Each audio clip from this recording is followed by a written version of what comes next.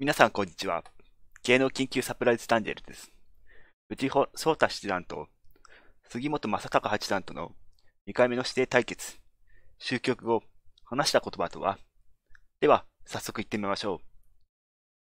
藤井聡太七段が6月20日、大阪市福島区の関西将棋会館で指された第33期竜王戦3組ランキング戦の決勝で杉本正隆八段との対局、95手で熱戦を制した。指定の公式戦初対局は、2018年3月の王将戦一次予選2回戦だった。統一局面が4回現れ、千日手が成立大熱戦のせい、弟子の藤井七段が勝利している。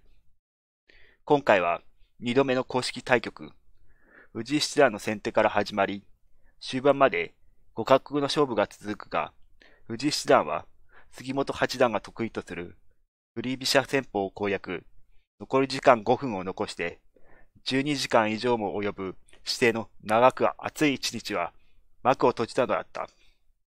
藤井七段はランキング戦で史上初となる4期連続優勝となり、2組への昇格も決めた。藤井七段は今回の指定対決についてこのように話していた。決勝での大舞台で対局できることを楽しみにしていた。前回の王将戦は持ち時間が3時間でしたが、今回は5時間。より一手一手をじっくり指すことができたと思う。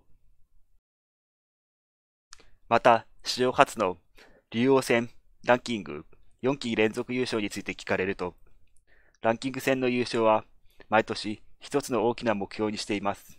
ただ、決勝トーナメントでは活躍できていないので、今回こそしっかり活躍したい。と、このようにも話していた。二度目の公式戦対指定対決となった今回の対局。実は、杉本八段は、勝負服の枠だった対局後の記者会見で、藤井七段が少し驚きはしたが、力がこもっている気迫というのものを感じたと話すと、杉本八段は、弟子の藤井七段ということで、自分にできる満点の状態で見せておくのが礼儀かなと思った。竜王戦ランキング戦の決勝は大きな舞台。しかも、藤井七段との対局だった。気合の入る条件が揃っていたとも話した。また、2年3ヶ月の指定対決で、再び敗れた杉本八段は、終局後は、今年の目標の一つだった。負けたのは非常に悔しいとも話した。弟子の藤井七段については、前回も強かったが、今回もしっかり指していた。持ち時間が長かったので、自分も全力を出すことができた。それでも、自分の攻めが届かなかった。どんな展開になっても、対応できる藤井七段の成長ぶりを感じた。また、史上初の竜王戦ランキング4期連続優勝について聞かれると、ランキング戦の優勝は毎年一つの大きな目標にしています。ただ、決勝トーナメントでは活躍できていないので、今回こそしっかり活躍したい。と、このようにも話していた。二度目の公式戦対指定対決となった今回の対局。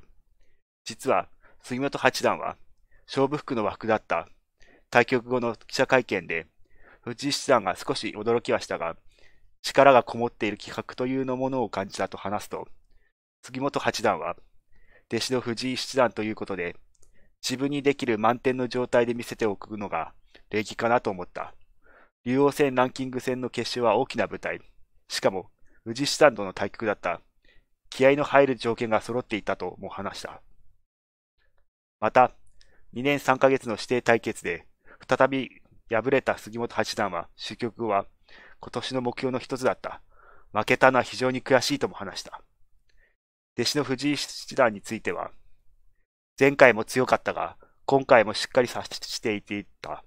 持ち時間が長かったので、十分。ご視聴ありがとうございました。動画を楽しめましたら、評価とチャンネル登録で応援してください。よかったら、よろしくお願いします。また、説明欄記載の内容も忘れずにご確認ください。